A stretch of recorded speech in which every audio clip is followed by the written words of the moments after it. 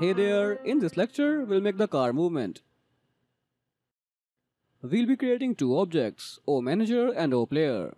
OManager will manage things like creating the cars, input and so on. OPlayer will be the player's car. OManager will create OPlayer in the room and get the mouse or touch input.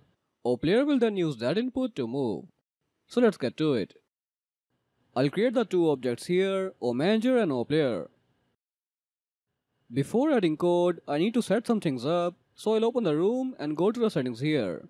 I'll set the room size to 720 by 1280, which will be our base resolution. Now I'll go to options and open main. Here I'll change the game speed to 60, so it will run at 60 FPS instead of 30, making the game a lot more smooth. Now I'll open OManager. Here I'll add the create event. Inside it I'll add this.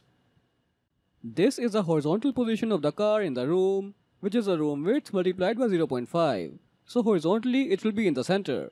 This is the vertical position of the car, which will be at 85% of the room's height. So it will be near the bottom. I'm storing these values into these local variables created using var. Local variables are temporary, they are deleted when the event ends. Here the car object is being created at these coordinates inside this layer. So this code will create the car object inside the room. Now I'll add the begin step event. Now I'll add this code here. The begin step event runs before the step event, so it's a good place to get all the input before using it in the step event. This part stores the mouse's x and y coordinates into global variables. Global variables can be accessed by all the objects, so it makes sense to use those for the input variables. We are doing this so that if we ever need to change how the mouse input is received, we could just change it here. This gets whether the left mouse button is being held. This also works for touch devices. Now I'll open OPlayer. I'll click here to assign the car sprite to this object. Now I'll add the create event. I'll create a variable here.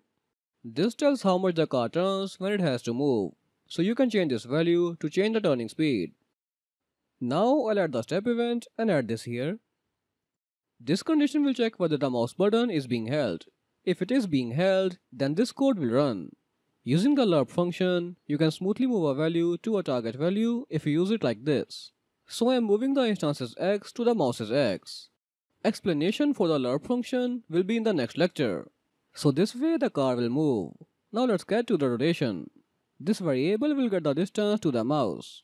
So first, it will subtract mouse x from x and divide it with room width to normalize it. Then it will multiply the result with turn amount and set it to image angle which is the rotation of the object.